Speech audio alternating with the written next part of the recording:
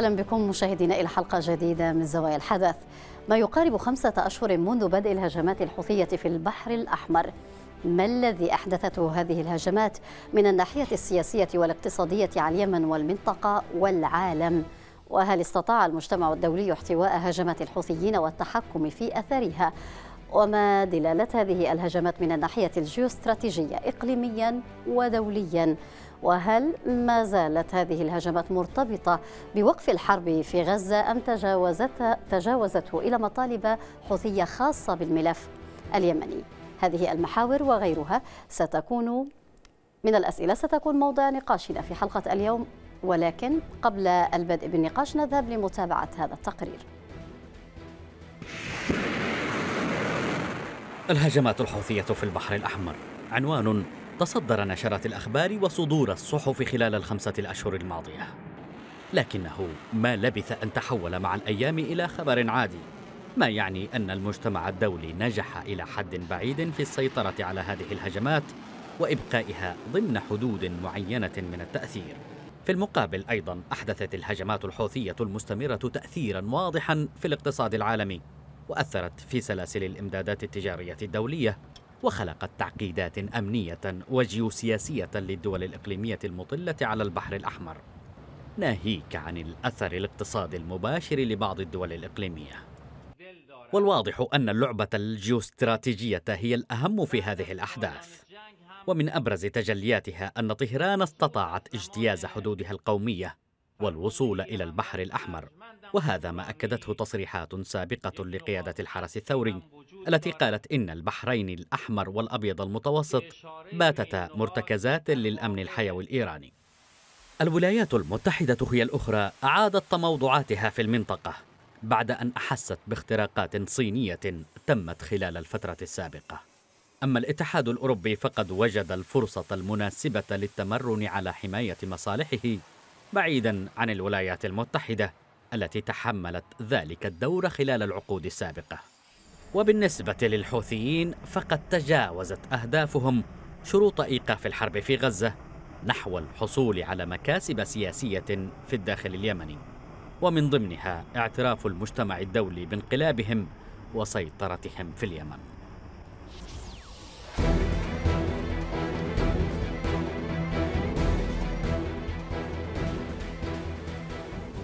أجدد الترحيب بكم مشاهدينا كما أرحب بضيفي الباحث السياسي الدكتور ثابت الأحمدي. مرحبا بك. معنا دكتور ثابت. إذا بعد خمسة أشهر من هذه الهجمات الحوثية في البحر الأحمر ما الأثر الذي أحدثته هذه الهجمات؟ مرحبا بك عزيزتي والمشاهدين الكرام واهلا وسهلا بكم جميعا. في الواقع إن كان من تأثير على المنطقة فهو تأثير سلبي بكل تأكيد.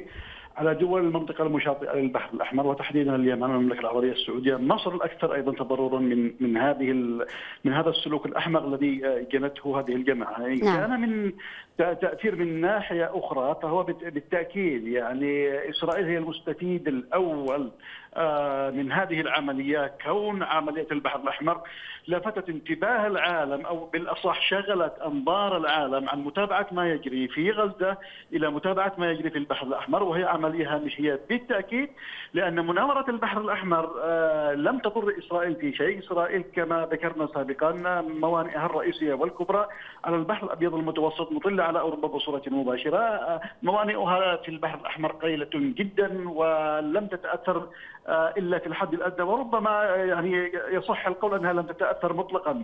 لا تأثرت بصواريخها ولا تأثرت كذلك بالعمليات التي جرت في البحر الأحمر.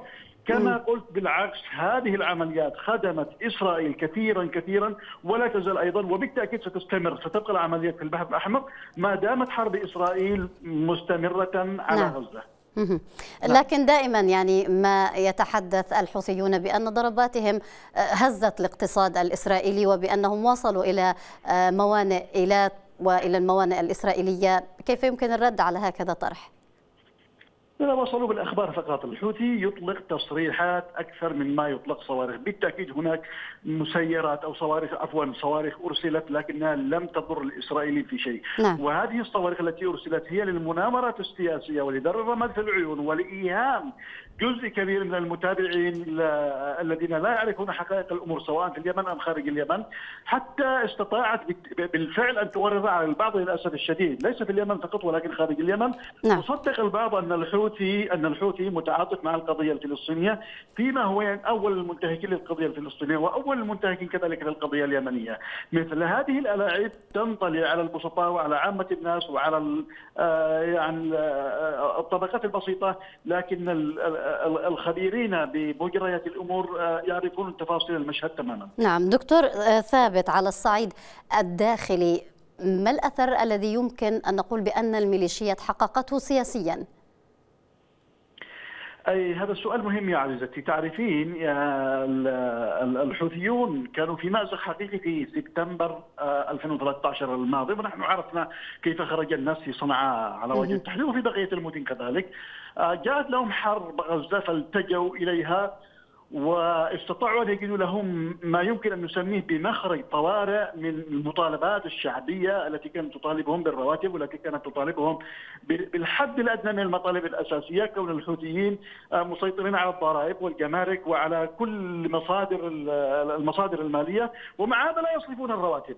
حصلت مطالبات في شهر سبتمبر 2013 الماضي وكان الحوثي في مأزق حقيقي. لولا أن حرب غزة مثلت له مخرجا آه، أو مخرج طوارئ إن صح التعبير وتناسى الناس هذه المهمة وأصبح اليوم يعني من يطالب براتبه يطلق عليه بأنه معارض القضية الفلسطينية. نعم. آه انتهت حرب غزة أو بالأصح لا تزال لا تزال حرب غزة متواصلة. آه لجأ الحوثي إلى اختلاق مشاكل أخرى إلى إنزال عملة جديدة مزورة إلى آه فتح جبهات مع الجنوب إلى خلق مشاكل جديدة يصرف أنظار الناس عن المشاكل الحقيقية في في داخل اليمن. نعم. دعني أرحب بضيفنا من صنعاء الصحفي رشيد الحداد. مرحبا بك معنا سيد رشيد. البعض يقول أن الهدف من هجمات الحوثيين هو إيجاد نفوذ لإيران في البحر الأحمر و يعني الحوثيون يبحثون عن مكاسب سياسية على صعيد الملف اليمني. سيد رشيد؟ يبدو بأن السيد رشيد ليس معنا أعود إليك آه، آه، دكتور ثابت فيما يتعلق أيضا بالمجتمع آه، الدولي والتحالفات التي أنشئت لصد هجمات الحوثيين تحالف الازدهار وأيضا التحالف الذي يتبع الاتحاد الأوروبي هل نجح هذا المجتمع وهذه التحالفات في احتواء هذا التصعيد الحوثي والتقليل من أثره؟ العملية لا تعد أن تكون هنا مناورة تماما. هناك قاعدة يعني منطقية تنطبق أو يتعامل بها السياسيون كثيرا يقولون بدلا من محاربة البعوض يمكنك تجفيف, تجفيف المستنقعات. أمريكا على وجه التحديد وبريطانيا آه لم تذهب لتجفيف المستنقعات ولكنها ذهبت لمحاربة البعوض يعني تقليم أظافر الحوثي وشكلت هذا التحالف يعني يعني هو في الواقع عبارة عن مسخرة تحالف دولي وأجندات وإعلانات وأخبار وشيء من هذا القبيل لمن؟ لجماعات الحوثي، صاحبها طبعا إطلاق صواريخ، إطلاق تصريحات إعلامية آه، وكذلك تصريحات سياسية لبعض السياسيين ولكن هذه الجماعات في هذه هذا التكتيك في المحصلة النهائية آه، يقوي من جماعة الحوثي. ولا يضعفها لأن صواريخ آه، ما يسمى بعملية الازدهار أطلقت على على الصخور وأطلقت في الرمال وكذلك لم لم, لم تضر الحوثي شيء. هذه العملية العملية لم تستهدف قيادي واحد من جماعة الحوثي. لم تضر الحوثي في أي مسألة استراتيجية إطلاقا بل قوته شعبيا وزادت من نفوذه وكل ما في الأمر آه، النفخ في الحوثي لا أكثر لتقويته لحسابات تخص هؤلاء اللاعبين تحديدا آه، تجاه المنطقة. نعم. تفضل بالبقاء معي دكتور. ثابت يبدو بأن السيد رشيد الحداد الصحفي من صنعاء عاد معنا مجددا. سيد رشيد هل تسمعني؟ نعم نعم نعم إذا إيجاد نفوذ لإيران والبحث عن مصالح فيما يتعلق بالملف اليمني. هذا كما يقول البعض هو محد الحوثيين للتصعيد وهذه الهجمات التي مضى عليها قرابة الخمسة أشهر. اولا هذه الهجمات آه، العسكرية هي آه، جاءت أو كانت بقرار يمني قال ليس هناك أي علاقة لأي دولة أخرى لا إيران ولا غيرها. م. كان هناك طبعا اليمنيين مرتبطين بالقضية الفلسطينية، كل اليمنيين يقول ولكن الجرأة الكبيرة كانت من قبل حركة انصار الله باستخدام طبعا تفعيل البحر الأحمر والهجوم أو فرض حصار مطبق على الكيان الإسرائيلي لذلك شلت حركة ميناء إيلات وهو أحد أهم الموانئ التي كانت تصل إليه يعني قرابة خمسة إلى ستة آه يعني مليون طن آه سنويا. بالإضافة إلى إنها آه يعني رغم وجود ما يسمى بتحالف الإزديار حماية الإزديار ووجود بوارج وحاملات طائرات امريكيه وبريطانيا وغيرها لم تستطيع كسر هذا الحصار لذلك تم فرض معادلة عسكرية في البحر الأحمر وكان هناك نتائج. كان من الجانب العسكري أو من الجانب الاقتصادي على الكيان الإسرائيلي، بمعنى اليوم الكيان الإسرائيلي أصبح يعني آه آه مسار السفن التي تحمل الواردات والصادرات للكيان الإسرائيلي أصبحت تمر عبر الرجاء الصالح. نعم. هناك خسائر وفاتوره كبيره جدا. يعني وهناك من يقول بانه هذا ال أو هذا الموقف لم يكن أو هذا الموقف عدمي، لا هذا الموقف ليس عدمي وإنما فرض معادلة عسكرية وأثبت إن هناك آه، يعني مقدرات لدى حركة أنصار الله التي أستطاعت أن تهاجم أو أن أن أن تشير عمليه عسكرية قوية وصولا إلى إيلات يعني هناك عمليات عسكرية أضرت بقطع السلاح بشكل كبير جدا في نعم. ايلات أو ام الرشاش وكذلك العملية العسكرية في البحر الأحمر مستمرة البعض يقول سيد رشيد بأن الوقائع على الأرض تدل فقط على أن المتضرر اقتصاديا هي الدول المشاطئة للبحر الأحمر بينما الكيان الإسرائيلي لديه موانئ بعيدة في البحر الأبيض المتوسط ومن خلالها يستورد كل بضائعه بمعنى أنه لم يتأثر بهذه الهجمات سقط. السيد رشيد أعود إليك آه، دكتور ثابت. آه، يعني أنت تتحدث عن مسخرة آه، وما يقوم به المجتمع الدولي أو حتى هذه التحالفات التي تحدثنا عنها. هي مسخرة حرب مناورة. لماذا كل هذا التعقيد؟ ما الهدف؟ يا عزيزتي هناك لعبة دولية أنتم تعرفون ويعرف المشاهدين الكرام أن الحوثي من أساسه تبنته آه، يعني جماعات دولية وهي التي أوصلته إلى قصر الرئاسه في صنعاء وهي التي دعمته من وقت مبكر وهي التي منعت الجيش الوطني من دخول صنعاء. ولا تزال ولا يزال. بعض اللاعبين الكبار بين قوسين يسمنون هذه الجماعة حتى هذه اللحظة. آه، كان الجيش آه، اليمني الجيش الوطني على وشك أن يدخل صنعاء ويحررها ويعيد الدولة ولكن وقف الأمريكان والبريطان ضد الجيش الوطني وصرح بذلك رسميا رئيس مجلس النواب اليمني الشيخ سلطان البركاني. حتى هذه اللحظة لا يزال بعض اللاعبين الكبار آه، يعملون على تسمين هذا آه، يعني هذا العميل المتوحش في جنوب الجزيرة العربية لابتزاز بعض بعض دول المنطقة العربية وتحقيق أجندات آه، دولية وإقليمية يعملون عليها من وقت مبكر. اليوم بالتأكيد هناك دول كبرى لاعبة تدعم تدعم هذه الجماعة وهناك تقارير دولية منشورة على النت متوفرة موجودة تقرر أن هناك صواريخ تتبع دولة عظمى أطلقها الحوثيون على على هذه السفن. طبعا لخدمات تخص بمعنى ان أن هذه الحرب البعض يصفها دكتور ثابت بأنها لعبة جيوسياسية تدور في المنطقة. الكل يبحث عن تحقيق أهداف خاصة به. هذا من المؤكد. أنتم تعرفون يا عزيزتي أن إيران تريد موطئ قدم لها في البحر الأحمر. إيران لا تنتمي امنيا لنظام البحر الأحمر ولا علاقة لها بالبحر الأحمر لكن بالتأكيد لها اطماع داخل البحر الأحمر وبالتالي لن تنفذ إلى هذا الشريان المهم أو إلى هذه المنطقة الجغرافية المائية المهمة إلا عبر الحوثيين. يعني من وقت مبكر لم تستطع. الآن إيران حاضرة في البحر الأحمر عبر أذرعها وهم الجماعة الحوثية التي تمدها بالسلاح سواء نعم. السلاح الإيراني أم السلاح الروسي وهناك أيضا صمت من بعض نعم. الدول الكبرى التي تمالئ إيران على هذه آه، الفعلة. نعم تفضل بالبقاء سيد رشيد هل تسمعني؟ نعم نعم نعم جيدا نعم آه، ما الذي تحقق من الأهداف المعلنة لهذه الهجمات؟ آه، ألا ترى أن أنه لم يتحقق شيء منها وأنها لم تؤدي الغرض منها؟ الهدف الرئيسي كان هو فرض حصار على الملاحة الإسرائيلية في البحر الأحمر ومنع العدو من استخدام الممر الدولي لإيصال الواردات والصادرات ردا على فرض الحصار على قطاع غزة. نعم. هذا كان المطالب في البداية. هل حققت هذا المطلب؟ هل تم إيقاف الحرب في فلسطين على الغزاويين؟ وهل تم فك الحصار عنهم؟ هي كورقة ضغط. يا عزيزتي هي كورقة ضغط لا تزال حتى الآن ورقة ضغط ولا زال الحصار مستمر ولم تستطيع. لا تحالف حماية الازدهار ولا غيره ولا حتى التحالف الأوروبي أن يتم تمرير حتى سفينة واحدة. بمعنى أنه القرار اليمني نفذ أو القرار المتخذ من قبل صنعاء نفذ بحذافيره ولم تستطيع ولم تستطيع قوة دولية، أما فيما يتعلق بالدول المشاطئه هي جيبوتي التي يفترض أن تكون إحدى الدول المتضرره باركت هذه العمليات وباركتها الصومال وعدد كبير من الدول لم تعترض حتى جمهورية مصر العربية التي ربما تضررت من تراجع الحركة بشكل نسبي في قناه السويس.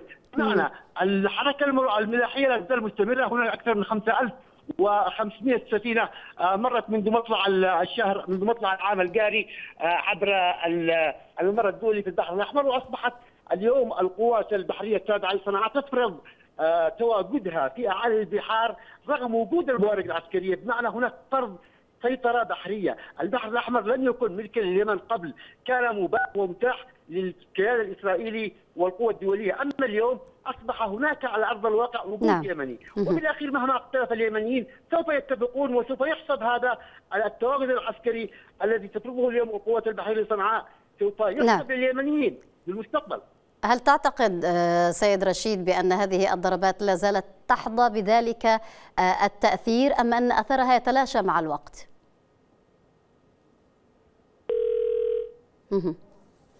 أعود إليك أو أشكرك جزيل الشكر الصحفي رشيد الحداد. كنت معنا من صنعاء وأعود إليك آه، آه، دكتور ثابت.